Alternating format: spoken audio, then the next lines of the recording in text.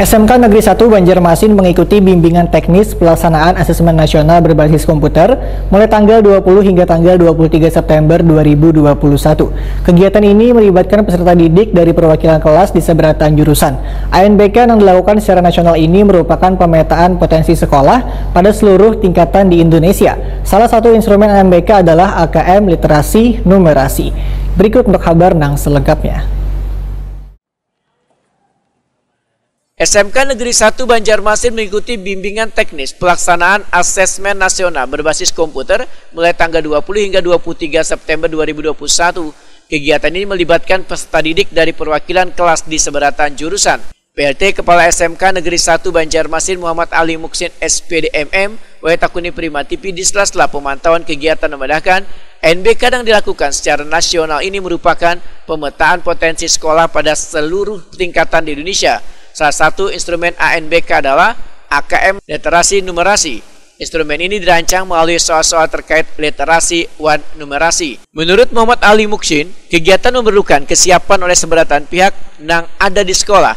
Namun hasilnya kadang menentukan nilai bagi peserta didik, namun sebagai pembinaan untuk mengambil kebijakan.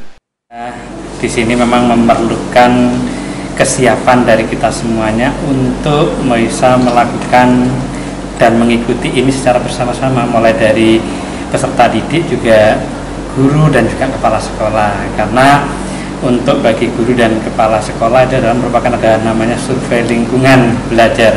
Sehingga di sini melihat untuk memetakan hasil dari kegiatan ANBK dan melalui survei lingkungan belajar ini sebagai kebijakan yang nanti akan diberikan kepada pemerintah pusat, pemerintah daerah dan juga kebijakan di sekolah di dalam mengambil keputusan ke depan. Karena dari sana terlihat peta ya.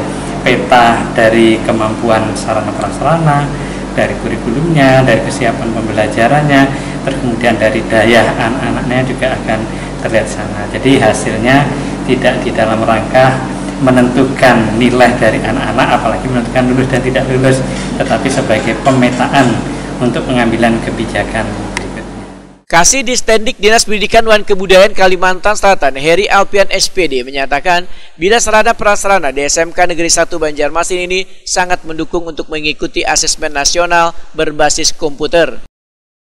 Untuk sarana prasarana fasilitas penunjang dalam rangka untuk uh, menunjang asesmen uh, ini uh, kita lihat siap.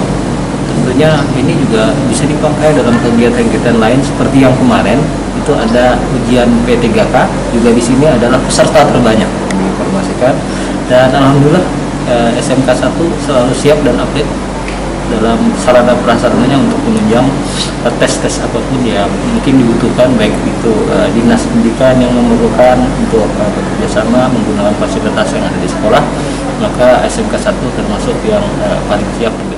Sementara itu Ketua NBK SMK Negeri 1 Banjarmasin Mahpudin SPDMA menyatakan bila pembinaan siswa dilakukan secara acak oleh Kemendikbud sebagai bentuk objektivitas asesmen yang dilakukan nanti. Ada kegiatan asesmen nasional yang dilaksanakan selama sejak hari Senin kemarin sampai hari besok. Untuk hari Senin dan Selasa kemarin adalah siswa kelas 10, hari ini dan besok siswa kelas 11 asesmen ini tidak hanya siswa, kami guru pun juga harus mengikuti asesmen nasional yang tujuannya untuk mengetahui sebagai bagaimana kesiapan sekolah, bagaimana kemampuan sekolah sehingga nanti pemerintah bisa memetakan apa saja kebutuhannya sekolah masing-masing. Mahpudin menyatakan kegiatan ini dibagi dalam lima ruangan dengan dua sesi, sedangkan waktunya berbeda-beda dalam setiap sesinya ada 9 menit, Bahkan ada waktu nang mencapai 1 jam 30 menit.